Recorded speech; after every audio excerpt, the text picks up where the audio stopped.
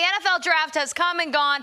We have some Hokies and Cavaliers on the board today. Hokies, Chamarri Conner is the first Virginia Tech player off the board, picked 119th overall. The safety was a four year starter in Blacksburg and is expected to contribute immediately to an already elite Chiefs backfield.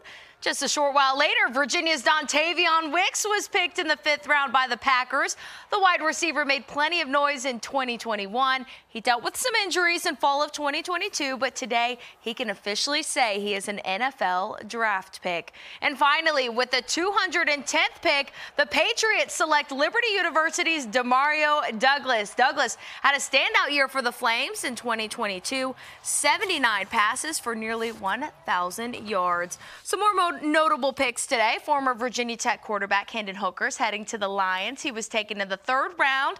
And Old Dominion defensive tackle Nick Saldiveri was taken 103rd by the New Orleans Saints. And Cavaliers Keytaon Thompson also signed with the Lions today as an undrafted free agent.